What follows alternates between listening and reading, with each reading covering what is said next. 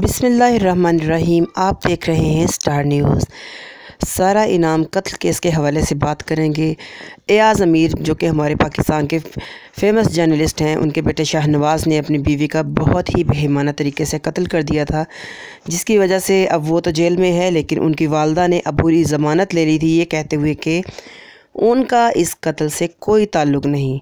हालाँकि ये भी उस वक्त घर पर मौजूद थी। उस वक्त घर पर सिर्फ़ तीन ही लोग मौजूद थे, जिनमें जैसा कि सारा इनाम शाहनवाज़ और उनकी वालदा। इनकी वालदा का कहना था कि फार्म हाउस बहुत बड़ा था। उन्होंने क्लियर इसके बारे में बताया था कि मेरा रूम बहुत दूर था, जिसकी वजह से मुझे इस कत्ल के बारे में मालूम नहीं हो सका। जब मुझे मालूम हुआ तो मैंने अपने शोहर एक्स हस्बैंड जो जो कि शाहनवाज़ के वालिद एयाज़ मीर साहब को इतला दी।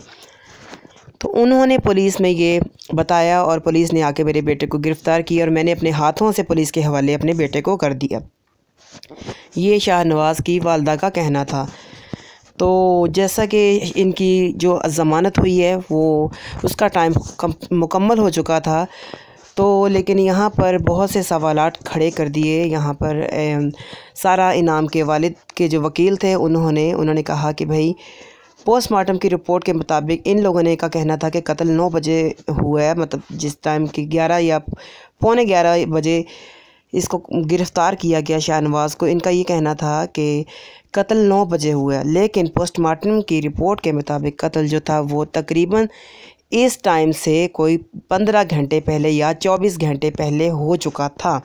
तो इनका कहना था कि सारा आई हैं मतलब वालिदा का कहना था कि सारा आई, हम लोगों ने डिनर साथ में किया। अगर ये कत्ल 24 घंटे पहले हो चुका था तो इन्होंने एक दिन पहले, यानी शाम को डिनर कैसे साथ कर लिया? तो यहाँ से कुछ बातों की समझ आ रही है कि इनकी वालदा इस कत्ल के बारे में जानती थी और ये इनका थोड़ा सा ये प्लानिंग में शामिल थी।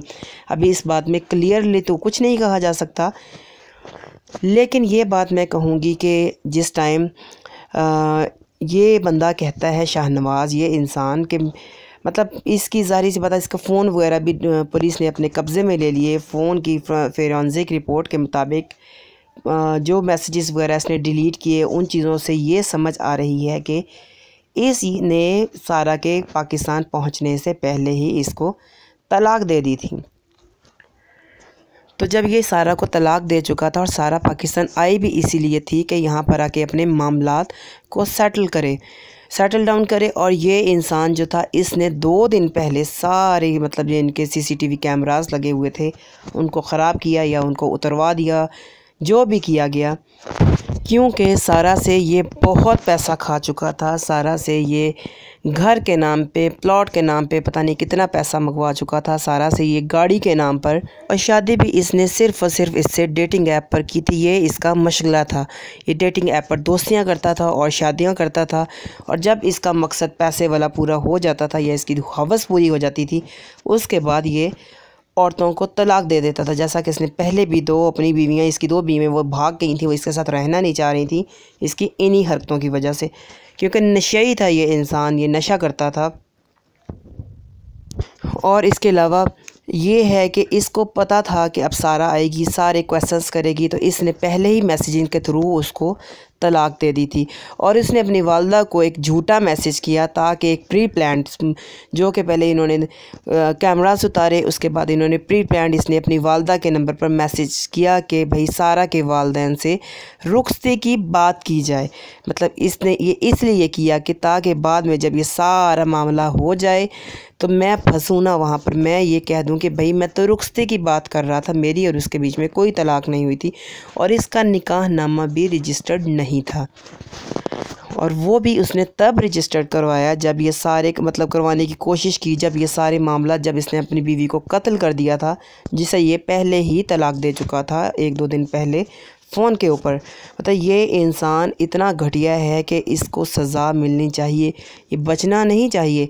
ये लोगों को, ये इस तरीके से तो कोई भी, किसी की भी लड़की को, किसी भी टाइम बहकाप इसला कर उससे शादी कर लेगा और बाद में उसको मार देगा। पहला नून मुकदम का केस हो चुका है हमारे इस्लामाबाद में। अब ये दूसरा इस्लामाबाद में बड़ा केस है और यहाँ पर ये चीज़ वाजिया पता चल रही है कि इनकी वालदा है जो उन्होंने कुछ बातें छुपाई हैं। अगर एक रात पहले इन्होंने डिनर किया तो पोस्टमार्टम में 24 घंटे पहले सारा के कत्ल की तशखीस कैसे की गई? और इसके अलावा अगर ये तलाक दे चुका था अपनी बीवी को तो फिर ये कैसे अपनी माँ को मैसेज कर रहा था कि भाई रुखसती की बात की जाए? ये लोग एक नंबर के फ्रॉड बाज हैं। अगर इसकी वालदा के बारे में तो मैं क्लियर कट नहीं कह सकती, लेकिन पुलिस ने कहा है अदालत से कि मतलब इनकी गिरफ़्तारी ली है उनको अडेला जेल पहुँचा दिया गया उनका पाँच रोज़ का जिस्मानी रिमांड के बारे में पुलिस ने कहा है कि जिसमें वो सारा का एक लॉकेट है जो कि नहीं मिल रहा है। उस लॉकेट के बारे में पूछगछ की, की जाएगी कि वो लॉकेट कहाँ है। इसके अलावा सारा का पासपोर्ट जो है उसके बारे में पूछगछ की जाएगी और ये चीज़ों के लिए इनकी शाहनवाज़ की जो वालदा है, उसको गिरफ़्तार किया गया है। और देखें फ़र्दर क्या आगे सिचुएशन होती है, फ़र्दर आगे क्या इन्फॉर्मेशन होती है, वो मैं आपके साथ शेयर करूँगी। काफ़ी दिन से मैंने इस पर वीडियो नहीं डाली थी। मैंने कहा था कोई और ज़रा क्लियर कट बातें पता चल जाए, उसके बाद मैं इसके बारे में आप लोगों को इन्फॉर्मेशन दूँगी। लेकिन मुझे कभी कभी बड़ी हैरानगी होती है कि ऐसी औलाद होती है शाहनवाज़ जैसी। जो अपने माँ बाप का बुढ़ापा ख़राब करते हैं, जवानी तो ख़राब करते ही करते हैं। अब उसकी वालदा ने कभी सोचा भी नहीं होगा कि इस उम्र में इतनी बीमारियों के साथ उसको ये दिन भी भुगतना पड़ेगा। और उनकी वालदा खैर रो रही थी जब उनको जेल में ले जाया जा रहा था। पहले तो वो ज़मानत लेने में कामयाब हो चुकी थी। लेकिन इसीलिए हम, मैं कहती हूँ कि हमें अपनी औलाद की तरबियत ख़ास तौर पर लड़कों की बहुत अच्छी करनी चाहिए, क्योंकि लड़कियों ने तो किसी के घर जाना होता है।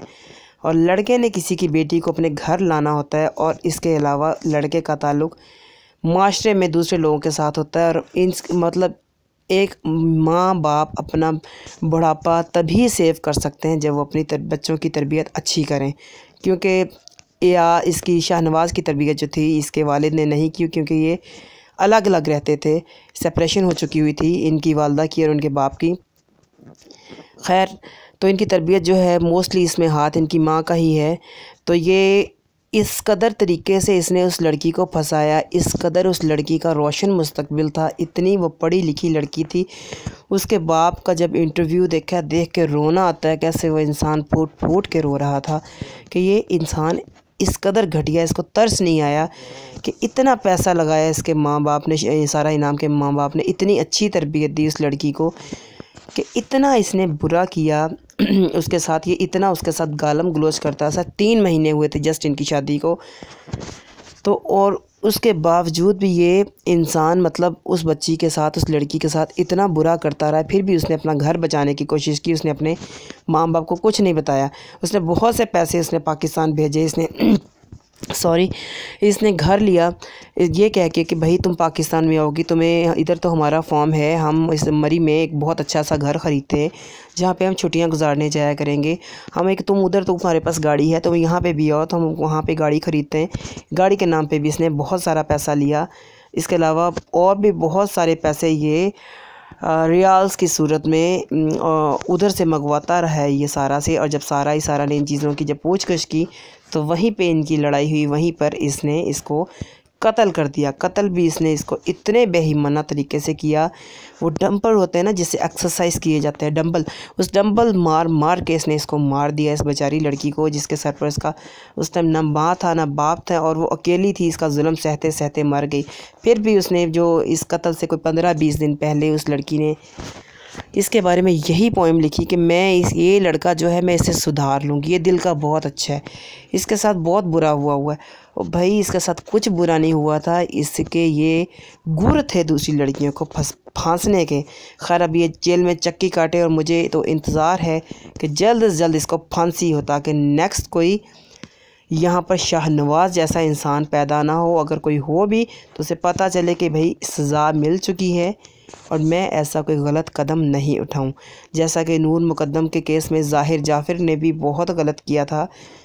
खैर, अभी तक सज़ाए मौतों से हो चुकी है, लेकिन इस पर अमल दरामद अभी तक नहीं हुआ। जब तक ऐसा ही हमारे मुल्क में होता रहेगा तो इंसाफ यहाँ पर किसी को नहीं मिलेगा। तो उस बाप को देख के यकीन करें, जो बाप कनाडा से पाकिस्तान, जो यहाँ के सिस्टम को नहीं समझता, या यहाँ की चीज़ों को नहीं समझता उसे नहीं पता कि मैंने अपनी बेटी के लिए कैसा इंसाफ लेना, कैसे इंसाफ लेना है। वो मीडिया को इंटरव्यू दे रहा था, ये देखें वो कैसे धाड़े मार मार के ये इंसान रो रहा है। अपने आप को इमेजिन करते हैं अगर हम लोग एक जगह पे, इसके बाप की जगह पे अपने आप को रख के वो कहता है, कोई दिन ऐसा नहीं था जिस दिन मेरी अपनी बेटी से बात नहीं होती थी। कोई लम, कोई वक्त अगर हमारी फ़ोन पे बात नहीं होती थी तो हमारी मैसेजेस पे हमेशा बात होती थी। ये दो दिनों से मेरी बेटी से मेरी बात नहीं हुई। कहता, मैं बुरी से बुरी मौत भी तस्वर करता तो मैं अपनी बेटी के लिए कम अज़ कम ऐसी मौत तस्वर नहीं कर सकता था। जैसी मौत मेरी बेटी को दी गई। सिर्फ़ क्या था उसने एक शादी की, उसने एक मोहब्बत की? इस इंसान के लिए उस पर एतबार किया। और मैं चाहता हूँ कि इस इंसान को कड़ी से कड़ी सज़ा मिलनी चाहिए। जब जब, जिस जिस बंदे ने इससे इंटरव्यू लिया, ये इंसान बात करते करते दहाड़े मार मार कर रो पड़ा। कहता है कि मैं कोई वक्त ऐसा नहीं था। जब बात नहीं करता था अब मैं अपनी बेटी को कभी नहीं देख पाऊँगा। और नहीं देख पाता। मुझे बहुत याद आती है अपनी बेटी की। मुझे बहुत दर्द होता है, मुझे बहुत तकलीफ़ होती है। तो यकीन करें, बहुत मेरा दिल कटा जब मैंने देखा इस बंदे को रोते हुए अपनी बेटी के लिए। कितनी मासूम सी ये लड़की और कितना शातराना ये इंसान है जो इसके साथ खड़ा हुआ इसकी मुस्कुराहट से ही पता चल रहा है कि कितनी इसके, इसकी मुस्कुराहट के पीछे चालबाजी छुपी हुई है। खुदारा मैं कहती हूँ अपनी बच्चियों को बचाओ अपनी बच्चियों को, को कभी भी लड़कों के झांसों में मत आएँ। चाहे कोई कहे ना कि मैं आपके लिए चाँद तारे भी तोड़ के ले आऊँगा तो भी कभी मर्दों की बातों पर यकीन ना करें। और लड़कियों को भी चाहिए कि हर मामले में अपने माँ बाप को साथ के साथ अपडेट दें। अगर सारा ने इसके साथ निकाह किया सारा ने बाद में अपने माँ बाप को बताया अगर सारा ने पहले बताया होता तो शायद वो पूरी की पूरी इन्वेस्टिगेशन करते। पूरी की पूरी इन्फॉर्मेशन लेते और शादी में ख़ुद शरीक होते तो शायद ये मौका और ये प्रॉब्लम्स ना हुई होती हैं, उसको भी पता होता कि हाँ भी सारा सारा के पेरेंट्स को ये नहीं पता था कि सारा इतना लुटा रही है इन लोगों पर, इतना इतना पैसा इन लोगों को खिला चुकी है। सारा के वालिद ने अब बताया